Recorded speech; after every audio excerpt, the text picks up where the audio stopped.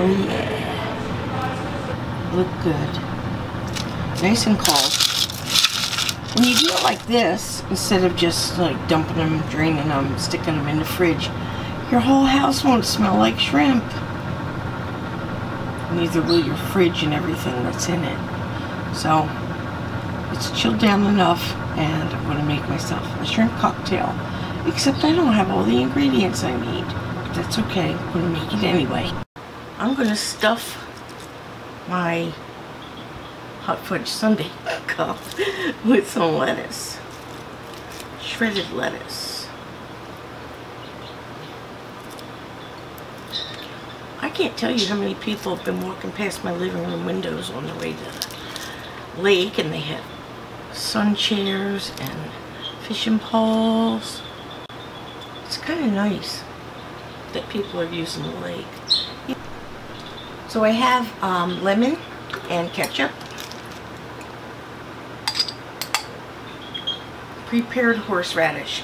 See, normally I wouldn't do this. I'd use a regular cocktail sauce kind of thingy and doctor it up a little bit. But I don't have any ingredients because I eat so many shrimp cocktail. So make it as spicy as you like. I'm going to use six shrimp. That's a little bit much, but excuse my arm.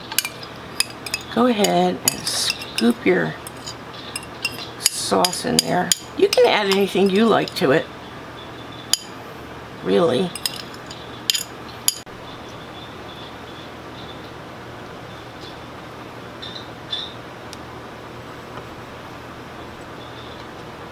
Uh-oh, I'm running out of juice here.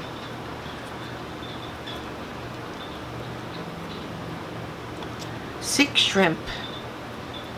Nice size, right?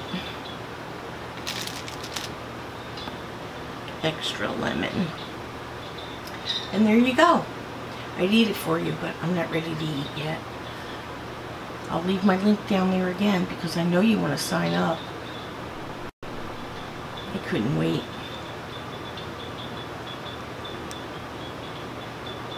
Mmm. Mmm.